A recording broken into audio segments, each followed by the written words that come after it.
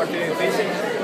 Nosotros durante la semana estábamos conscientes de que, teníamos que ganar para seguir creyendo en ese proyecto de, buscar el 30 y, y, conscientes de que en casa el torneo pasado no nos hicimos respetar estábamos conscientes de eso, que era importante ganar y ganar bien y estamos contentos por eso. ¿Esperaban un encuentro tan abierto como lo que fue ese León y Estrategia Nosotros, la propuesta de nosotros era ir a, adelante desde el momento. Yo pienso que antes de que, que consiguiéramos el 3-1 en el primer tiempo, nosotros ya habíamos hecho méritos para, para tener un marcador más abultado, varios tiros en el poste.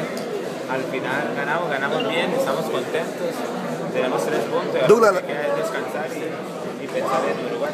Dura la defensa, ¿cómo la vio? ¿Qué fue lo, lo, bueno y lo que hay que mejorar de cara a lo que viene? Ah, todo. Nosotros, Harvey, nosotros tenemos un trabajo que se cambió de línea 4 con un contención fijo, con tres volantes creativos y velocidad por adelante.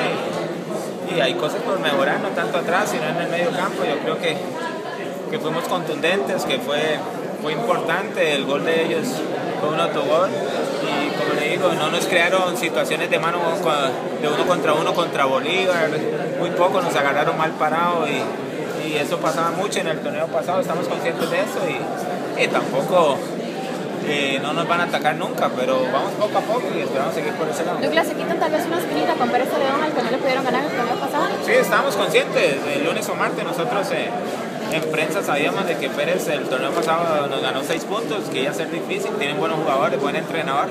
Nosotros estábamos conscientes de eso, nosotros al minuto 6 ya íbamos perdiendo, gracias a Dios empatamos rápido.